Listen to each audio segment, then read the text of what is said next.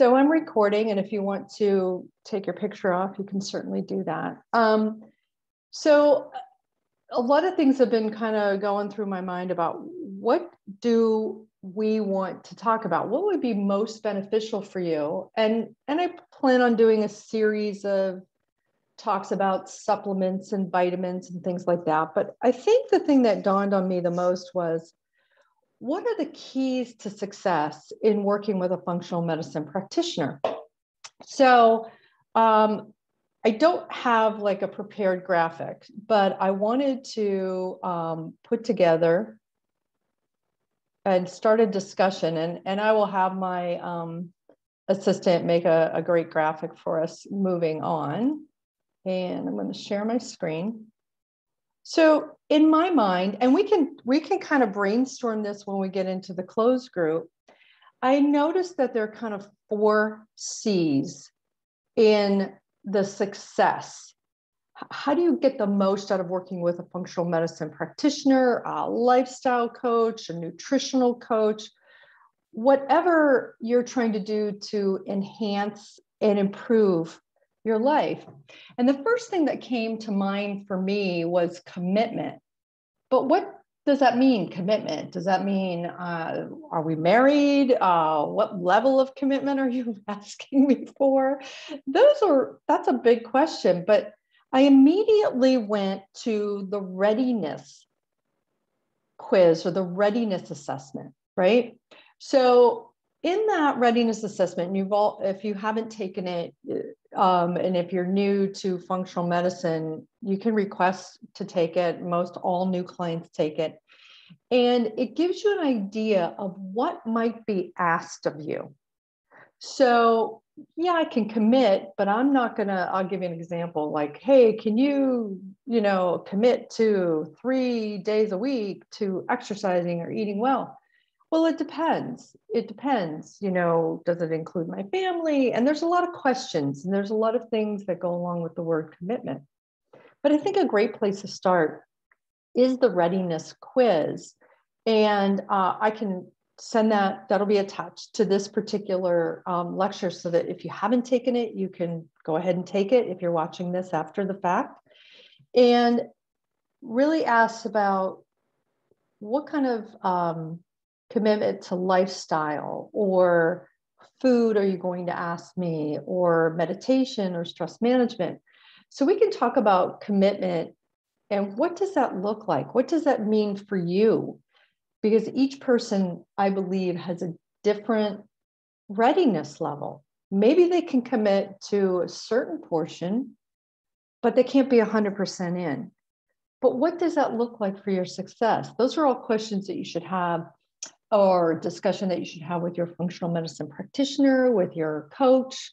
And this is a great way to start the conversation, especially like in a complimentary consult with anyone. Um, what does commitment look like in your practice? So I, I think commitment is number one. My next thing that I really wanted to talk about, and um, this one is community. I put my, there we go. Community. That's a big word. We're trying to grow a community here in our group visits you can grow communities on social media. And that's where I think a majority of people have transferred to. Um, digital communities, I think, are okay um, because it opens your world globally, actually. Um, and we could talk about what that is. But there's something to be said for an intimate community where you can be together as a group and forge relationships, forge um, support.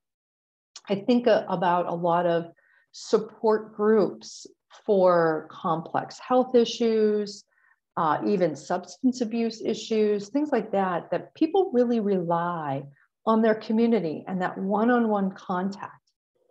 And your practitioner, your functional medicine practitioner, is part of that community. Your health coach is part of that community but so are the people who are like minded. interestingly enough, I think, I don't know, but I tend to forget that my family is part of that community. My friends are part of that community. So when you're embarking on a new lifestyle change uh, for improving or correcting something that's going on, and you need to make some maybe you're going to go completely gluten free, right? And your kids are going to have a meltdown because you're not eating macaroni and cheese anymore, uh, or pizza, or something like that. So that community of your family, they don't. I don't, and Rapali, you can chime in on this if you want. I don't think that family needs to be all in 100% into what you're doing, but at least a level of understanding about what you're doing and a willingness to support you in those changes. So, not that they have to be eat what you eat, although it would be easier when we're all cooking dinner, right? but I think that having that, all those aspects of community and um, making sure that we have that appropriate support. And if we don't have it at home, where are we going to get it? it's hard to be an island when you're trying to make these changes. And um, we know that I think the the statistic is you need 21 days of consistent um, uh, practice in making a change before it becomes a new habit, right? And I think that's what we're trying to do is trying to guide you into new habits that support your body and support your optimization for your health. So we can talk a little bit about the nuances of community, and I think um, that's a good one. And then this is one of my favorite communication.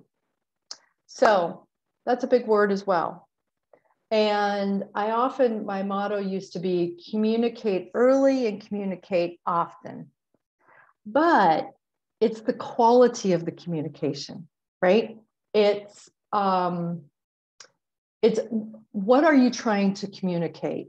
Are you are you communicating your needs? Are you communicating your wants? Are you communicating your goals, your preferences? And when you're dealing, I think, in functional medicine, that kind of two way communication is foreign to a lot of you because you have had this experience in allopathic or Western medicine where you communicate your concern, you communicate your need, and then you're just kind of given a set of instructions. There's no dialogue back and forth, or it's an abbreviated dialogue, right? It's where you don't really get to communicate your concerns, or maybe someone's made a suggestion to you, another healthcare practitioner, and you're not on board with that. And so you go back to commitment. I'm not committed to what they just asked me to do. And there's no extended dialogue um, in Western medicine. In some cases, there are. And I think that in integrative practices and in certain, if you're lucky to get an allopathic physician that's really in tune to communication, I think that you're lucky and uh, foster those relationships. But communication in functional medicine is really a two way street. It's an open mind, it's listening. Um, that's the hardest thing that I've ever had to learn was listening. Uh, I think listening is a skill that can be learned and fine tuned. Um, and checking yourself Am I listening to what my practitioner is trying to tell me? Is my practitioner listening to me? Is my coach listening to me? Am I listening to my coach? So uh, communication is a is a big part of the success. So how do you communicate with your practitioner? How available is your practitioner? I put together the group visits because it's another way for everyone to communicate and have an opportunity to speak with me on a weekly basis. That's unheard of in traditional allopathic uh, medicine. Uh, and if it if it is, if you do have the ability to to communicate with the team, right, the medical team, uh, it's usually someone who's not able or in a position to make a decision. They have to kind of relay the message. It's like playing telephone, right? So understanding what kind of communication your practitioner would like uh, and are you on board with that? You know, I try to make it extremely, um, I'm, I'm moving to the platform of Practice Better where you can have specific periods of the day where you might have instant messaging available to you. You might have emails. Uh, you can send text messages for limited things. Um, and so there's always this ability to communicate, even on the fly, which uh, I really like. And then in these live private um, group sessions. So I think communication is uh, important, but what are we communicating and are we communicating it effectively? And then, so the last thing ooh, is consistency. So, what do I mean by consistency? Well, it's kind of a big word like commitment. What can I be consistent with? And that is where, when you're working with a functional medicine practitioner, it's our job to try and kind of tease out to you your preferences. Example. Um, I am, when it comes to meditation, there are different, all kinds of forms of meditation.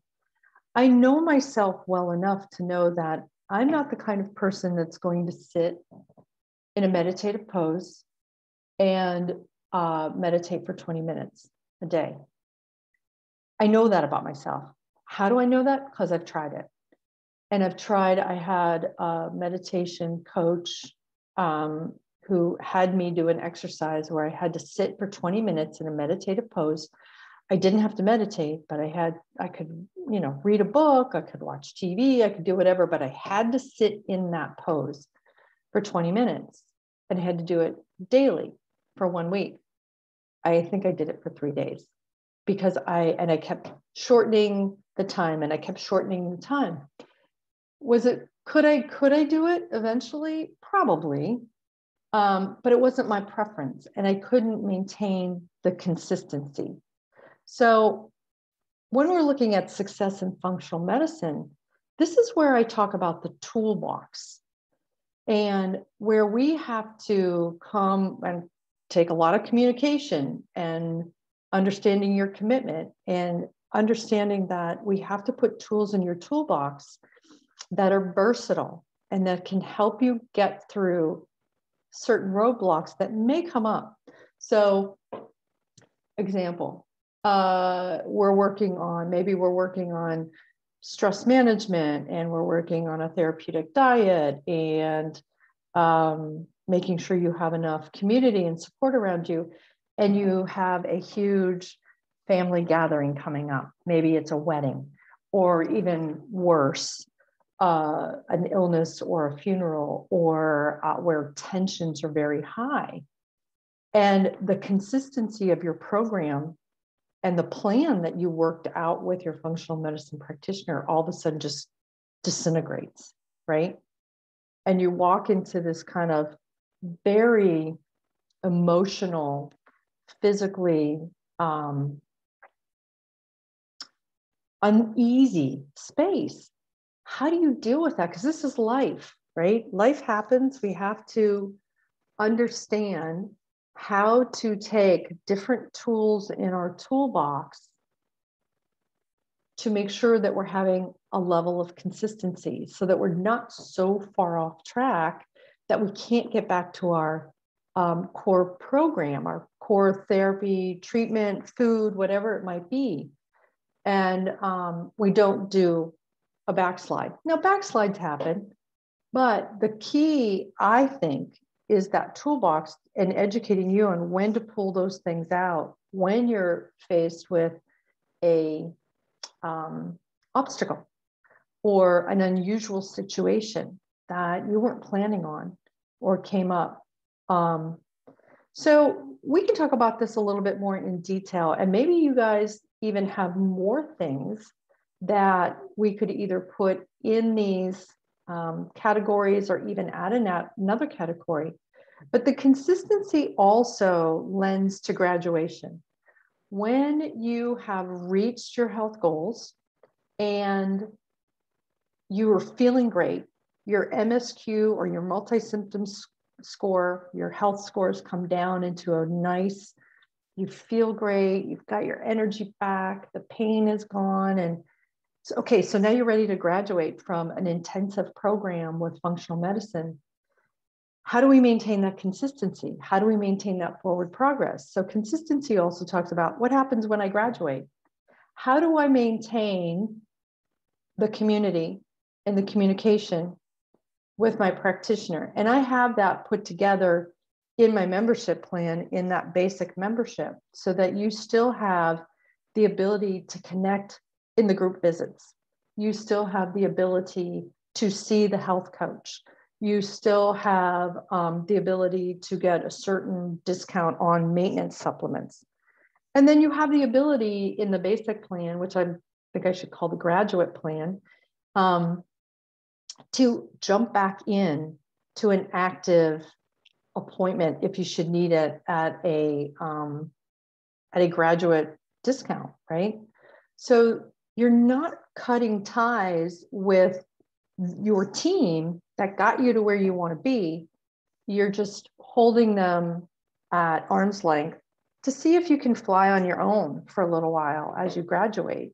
But we're always here as community um, to help you maintain your forward progress and consistency.